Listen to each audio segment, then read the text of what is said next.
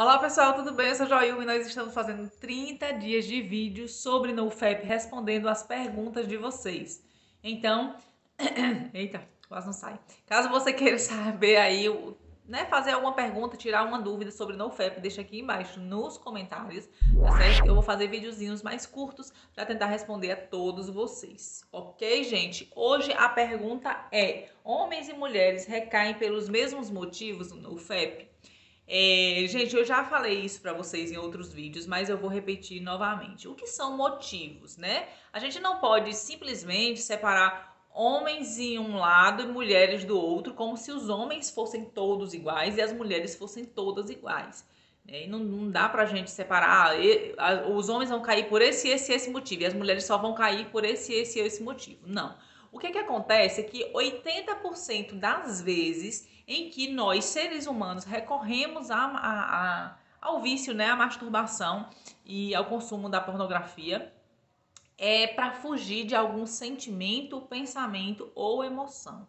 Então, seres humanos no geral caem em vícios tá? Recaem nos vícios para fugir de um sentimento, pensamento ou emoção. E isso tanto faz ser no vício da pornografia e masturbação, como no vício das drogas, como na compulsão alimentar. Quando a gente tem um vício, normalmente 80% das vezes que a gente recai naquele vício, não é buscando prazer, e sim para fugir de algum sentimento, pensamento e emoção. Então, dentro desse sentimento, pensamento e emoção, tem várias infinitas possibilidades, né? Que não vai fazer exatamente uma diferença, como eu disse no início, é, entre homens e mulheres. Não tem como a gente separar em um grupo e dizer, ah, os homens, as, os homens têm tais sentimentos, pensamentos e emoções, e as mulheres têm tais sentimentos, pensamentos e emoções. Não dá para separar isso. O que dá para a gente tentar entender como indivíduo é que tipo de pensamento, sentimento ou emoção eu estou tendo que está me empurrando para essa recaída. Né? O que é que eu não estou querendo olhar em mim que está me fazendo recair o tempo todo?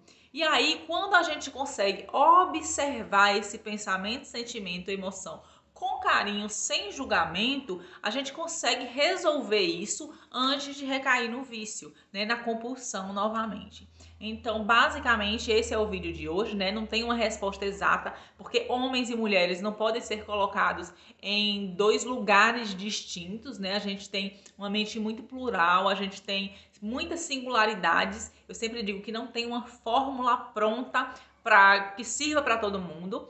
Mas basicamente é isso. 80% das vezes que a gente recai numa compulsão, que a gente busca um vício, é para fugir de um pensamento, sentimento, emoção. E isso vale para homens e mulheres. A pergunta é: qual sentimento, pensamento e emoção está me fazendo ir para a compulsão, ir para o vício? Observar isso antes que o gatilho seja dado e que eu caia novamente. Então, espero ter respondido a pergunta. Se ficou alguma dúvida, comenta aqui embaixo. Se você tem outra questão, comenta também. E se você tiver um testemunho, tá?